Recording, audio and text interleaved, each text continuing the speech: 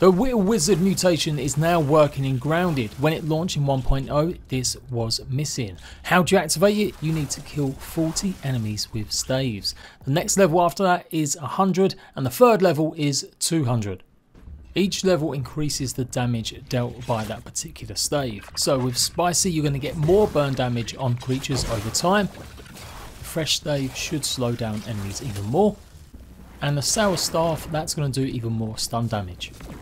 Don't forget to make the wizard stuff, you're going to need the chip from the termite hill just past the termite king. And then you've got to go and buy the actual recipe so you can craft them from the ASL machine. All the staves do the same amount of damage, but it's the stun that improves. So enjoy being a battle mage, let me know what combination of armors and maybe trinkets you're going to be using, and check out the rest of my grounded guides. Latest rat bags.